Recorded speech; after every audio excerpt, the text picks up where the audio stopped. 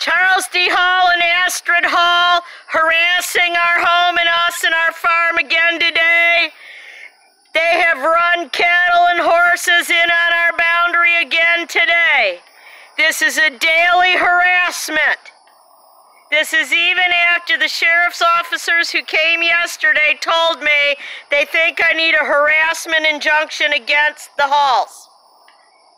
Here they are, harassing us again.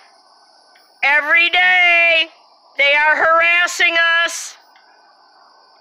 Every day.